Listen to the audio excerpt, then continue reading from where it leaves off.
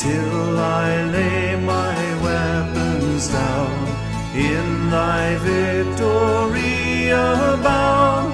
Oh, the battle's won for me at the cross of Calvary.